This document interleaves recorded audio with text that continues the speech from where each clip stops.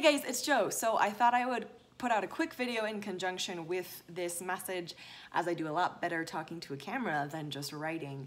If you read the message, you'll know that in a few days, on October 11th, which is Thursday, I am going to have a below the knee amputation on my right leg. Um, I have had over 10 surgeries on my ankle. If you know me pretty well, you'll know that I'm generally kind of limping around. The backstory behind that is that I shattered it when I was 13. I've had um, countless surgeries. Like I said, I think it's about I've been about 10. And um, I've been on narcotics for years for it to try to keep the pain under control. Uh, it hurts all of the time, even though I try to live normal life. I try to be active, I try to do stuff. And over the last year, it's gotten to the point where I cannot do anything. I can't walk around the block, I can't walk the dogs, I can't go to the gym, I can't do jiu-jitsu, I can't do anything. And it hurts significantly more. Like I'm in a lot of pain all of the time, whether I'm walking or not, and that's just not gonna work for me. There are some other options that could be tried. I've tried everything under the sun, um, and the options that are left on the table are not good ones. After a lot of consideration and a lot of talking to people and consulting doctors and consulting other people who know what they're talking about and a lot of thinking, um, I, along with my surgeons, have come to the conclusion that this is the best choice for my life and for what I want my life to look like, hopefully. Obviously, it comes with a lot of risks and no guarantees.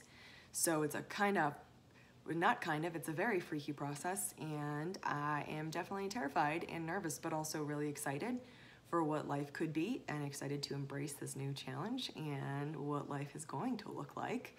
Um, but I wanted to let you all know so that no one is particularly shocked if they see me in person in a month or two and I don't have a leg it will probably still be sort of shocking for people, myself included.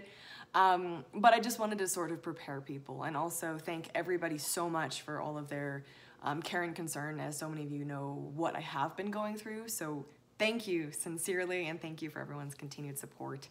Um, I also wanted to say, and I don't mean to sound like a jerk about this at all, but a lot of people have, um, as I've kind of been considering this, just like random people, I'm not even talking about people on Facebook, but like told me what to do with my life or like told me, yes, you should do this or no, you shouldn't do that. But um, like if you have strong opinions on whether or not this is a good option for my life, I would kindly request that you keep them to yourself because this is a very emotional decision for me.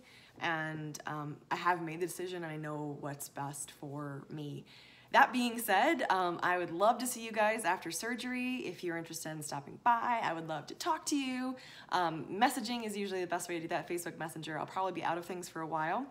Uh, and then I would love to catch up with everybody. And I can't wait to get back to seeing everybody at Jiu-Jitsu and the gym and um, at work and everything. So I look back to being in the routine of things, hopefully as soon as possible, and adjusting to a new way of life ASAP and seeing what the heck that looks like because there's only so much preparation you can do beforehand and then it's just sort of a, you know what, we'll just see how things look. So I'll probably be in the hospital for a day, maybe two, hopefully not any longer than that. Then I'll be back at home recovering with my fantastic family who is so supportive and my friends like you guys who are amazing. So thank you so much for your support.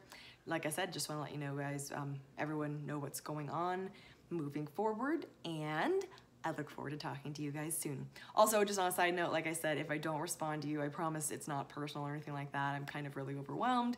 Probably will be for a little while, and I will definitely get back to everybody as soon as I possibly can.